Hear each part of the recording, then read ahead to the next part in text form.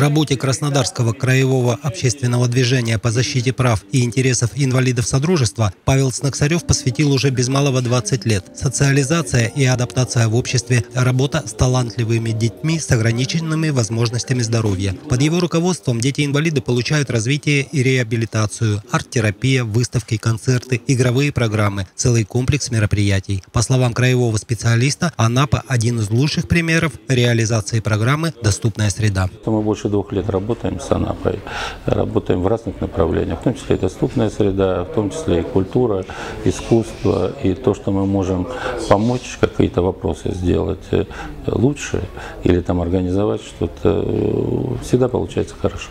В Анапе всегда получается хорошо. А с чем это связано?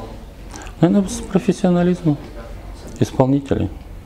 Я люблю профессионалов. Я как менеджер, организующий много мероприятий, в том числе и краевых, и больших, я могу сказать, что интересно работать только с профессионалами. В работе круглого стола приняли участие представители учреждений культуры, участники движения «Молодая гвардия», общественные деятели. Депутат Горсовета Светлана Хижняк поделилась опытом работы по социализации и развитию детей с ограниченными возможностями здоровья. В Доме культуры станицы Анапская она организовала клуб, в котором особенные дети и их родители находят помощь и поддержку. Мы объединили все семьи Анапского сельского округа, имеющих детей-инвалидов.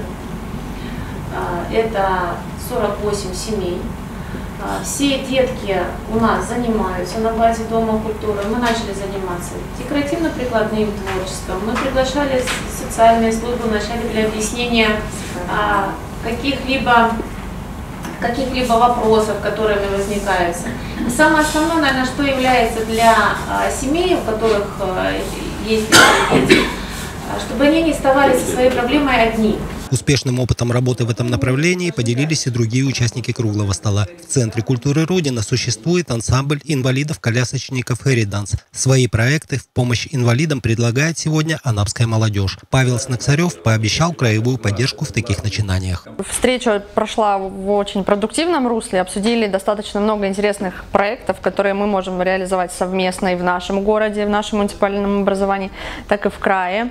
А, Проекты достаточно интересные, обсудили также ряд совместных мероприятий, которые мы можем провести а, для ребят с ограниченными возможностями, э, включить их в такую среду более активную, где мы сможем реализовать весь их потенциал творческий, интеллектуальный. Ну, то есть провести какие-то э, ряд крупных мероприятий, которые смогут пойти нам и краю нашему, да и вообще нашей стране, наверное, на пользу. Следующая встреча с Павлом Снаксаревым состоится в августе. До этого времени культурные, молодежные и социальные организации подготовят пакет творческих проектов. Лучшие будут реализованы уже в этом году.